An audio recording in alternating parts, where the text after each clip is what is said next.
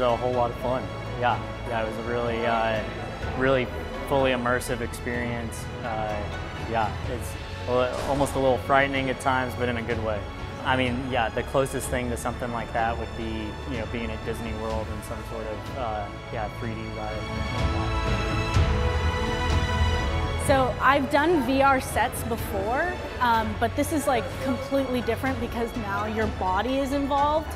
And at first I was like, oh, okay, yeah. And then as soon as I turned, it was like an experience that I've never felt before. It was my whole body went, whoa.